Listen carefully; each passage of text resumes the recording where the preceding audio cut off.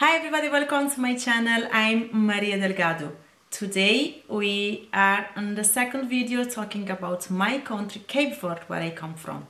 If you haven't checked the first video, then stop this video, go go back and uh, try to find the first video here first and then later come uh, see this uh, second one. Republic of Cape Verde is an island country or an archipelago of 10 islands in the central Atlantic of Ocean. When we talk about our flag, the blue represents the ocean and the sky, the white represents the roads and the construction, the red represents the people, and the 10 stars represent each island of the country. Cape Verde is located approximately 570 kilometers or 350 miles west from west of the Cape Verde Peninsula in west of Africa, near to Senegal. The Cape Verde archipelago has no people until 15th century when Portuguese discovered and colonized around uh, 1456. Cape Verde was ideally localized for the Atlantic slave trade. The end of slavery in the 19th century led the economy decline and immigration was results in was results in a crisis economy. Cape Verde gradually recovered and import as an important commercial center and stopover for shipping routes. We talk about that shipping routes next video and we're gonna talk about Cape uh, about San Vicente because San Vicente was the important island of the uh, stop uh, shipping. So when we come to our independence, since 1975, uh, Cape Verde gets free from Portugal. Uh, uh, what we can say is um, uh, it's not so long that we get uh, free, but uh, Amilcar Cabral uh, was the, the front or the head of the freedom of Cape Verde. This one, this man that's coming right now, Amilcar Cabral, this one. This next man is uh, our uh, last Premier Minister, Cabo Verde, José Maria Neves, and this one is uh, our new Premier Minister, uh, Ulisses Correia Silva. And then we have our uh, President of the Republic, that is uh, Jorge Carlos Fonseca. We're coming to tourism, that's uh, uh what represents Cape Verde. We can say that our economy is mostly service oriented and growing focus on tourism. Um, I just let this be these pictures for you for you can see. Because uh, if I just gonna talk and then it's not gonna be so uh, very good video for you I want to make this picture for you can understand more about Cape Verde. Now we come to our military. The military of Cape Verde consists of a national guard having fought their only war for independence against Portugal between 1974 and 1975. Ooh, now coming the one is uh, very uh, uh, important in Cape Verde is the ethnic group. Most of Cape Verdean are mulattoes or mestiz in Portuguese. We have mixed African and European origins. Another form is Creole meaning it's not so many it's not so uh, unnormal you find people like you see right now in the picture. People with different color different color, color of eyes. And uh, it's like uh, you can see it's like the color is from Cape Verde and the eyes is from Europe. It's because uh, a lot of these Cape Verdean have immigrated and uh, they had make uh, children with people from Europe and then we have 80% of the people is uh, uh, mestiz. When we come to our education, the Cape Verde education system is similar to the Portuguese system. Cape Verde has the second best education system in Africa after South Africa. Uh, primary school education in Cape Verde is uh, mandatory and free for children between the age of 6 and 14 years old.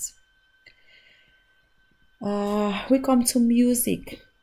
The Cape people are known for their musical work expressing by popular manifestation. So we have uh, our national music is Morna, Coladeira, Funana and Batuque music. Cesária Évora was the best known for Cape singer in Between the Worlds. She died, but she was uh, called like uh, barefoot uh, diva because she liked to perform and uh, perform on stage without uh, shoes. Then we have our names like Mayra Andrade, Sara Tavares, gain more space in the music because they was uh, Cesária Évora descendant. We have also Ildo Lobo, Lura, Tito Paris. We have Zequinha Rinaldi, Nácia Gomes, uh, Beto Dias, and uh, another people that take the name of Cape Verde around the world, as you can see here. And also you can see um, uh, Gil Semedo uh, together with um, uh, Suzanna Lubrano. Now we come to the uh, the one of the biggest party in Cape Verde is the Carnival. Carnival is make on Mindel. Ooh, Carnival is very important. Is making in the city is making the city blow up. It's like uh, the days of the celebration. It's like uh, is Brazil in, uh, in Mindel.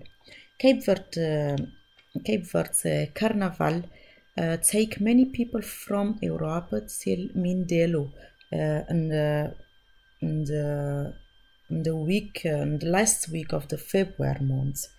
It's like um, many people come from all all the other Cape Verdeans living outside, and uh, they can the one can come they come to the death party. As many European people also come to that party because it's very, very, very important for Cape Verdean, Cape Verdean, but it's, be, it's become just like a tradition for us.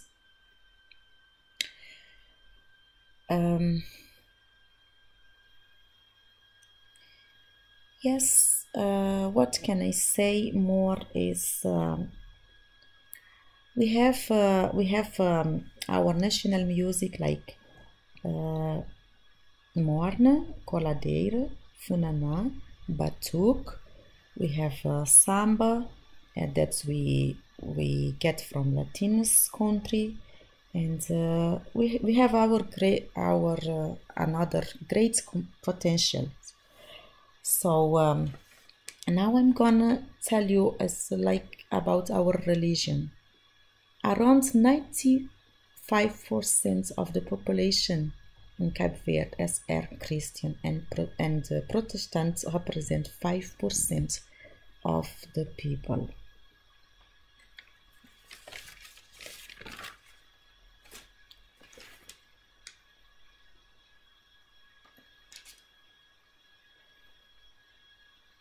So guys, I did make this narration for this video because I get a problem with my camera. It was not like this I was supposed to make the video, but I hope it's uh, it's helpful and you can uh, know more about uh, more if you want to know more about Cape Verde. You can always go to Google and uh, and Google Cape Verde and you find out more about our culture, our tradition, uh, about uh, about many things that uh, we have in uh, Cape Verde.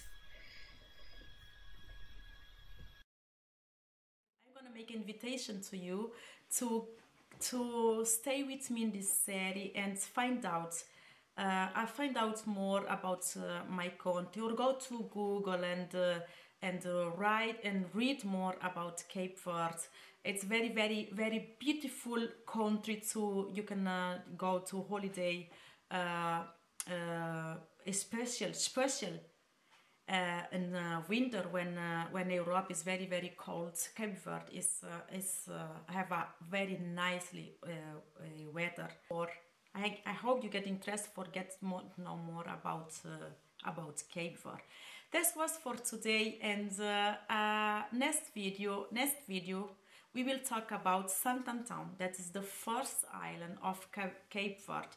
You will see how different it is from one island to another island, uh, even in the same country. Uh, different weather, different culture, different tradition, different language, but still the same country. I see you next time and uh, hi hi!